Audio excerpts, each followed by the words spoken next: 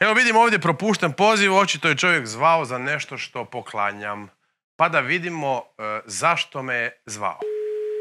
Da, Jeste vi zvali sad? e, d- možda je zvao moj brat. Evo vam njega.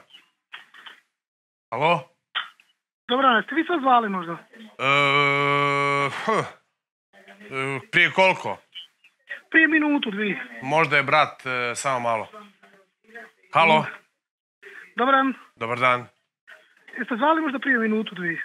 Nisam ja, ali znam ko je zvao, samo malo zvao je e, moj brat. Pa svi E, viču, moj, koliko imaš braće? šest nas je. Ume, što trebate, ajde. samo da vam dam njega, čekajte. Braco, dođi. Halo? Dobar dan. Dobar dan. Jeste zvali prije minutu, dvije? E, zvao sam ja, ali vas treba moja sestra. Samo malo. Halo? Dobar dan. Dobar dan, izvolite. Pa zvali ste me sad prije minutu, dvije. E, da, recite. Pa šta me trebate? E, jeste vi možda zvali mene za oglas? Da, E, samo malo. Ali oni su nami poslali nešto da su oni zagubili. Da se obratimo. Da napravite novo nešto. Na šalter dijela zgrade.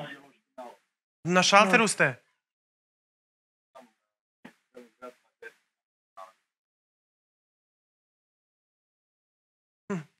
E, braco, da.